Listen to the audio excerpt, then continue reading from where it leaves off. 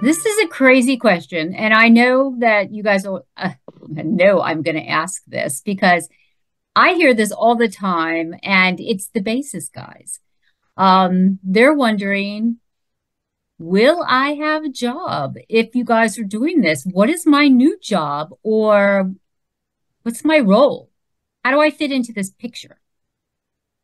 Yeah, so uh, let's say this way, Basis is uh, still available. Even if you have a cloud system, uh, you need to have someone who's doing the um, the uh, authorization concepts. So you need someone who's uh, assigning uh, people the authorization, who's let's say configuring uh, the the external interfaces and, and all those stuff in, in the public cloud. So even in the public cloud, you need to have someone doing the administration stuff.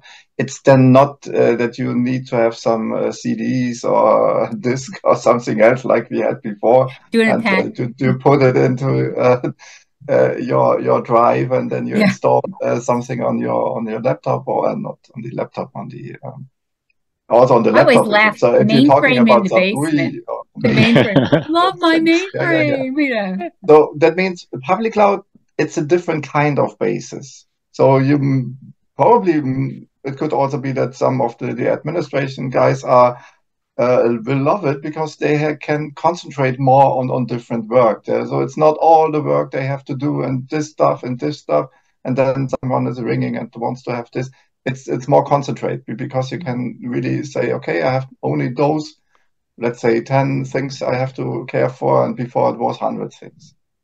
Um, yeah, and, yeah, yeah, and yeah, and for the others on premise, there's really no big change. So it's the same as before. And the, the in the private cloud, it's probably a mixture between uh, the, the uh, is HEC still and, around? That whole yeah. SAP HEC thing? It's a different yeah, thing, but from yeah. the concept, yes.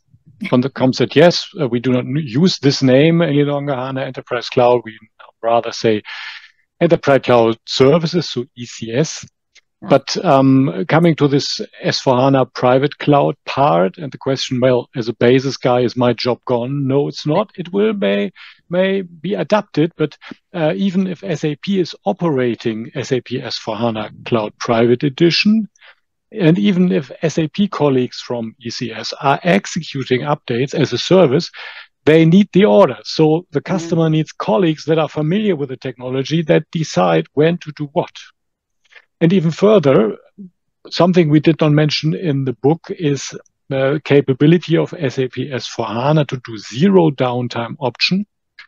That is a hmm. question of operating S4HANA, not the question of migrating to SAP S4HANA. That's why yeah. we didn't cover it, but it's a product feature. SAP S4HANA Cloud Private Edition comes with a capability to do zero downtime option that is executed by SAP as well. But there are important checks to be done by the customer, uh, by basis guys and by colleagues from the application.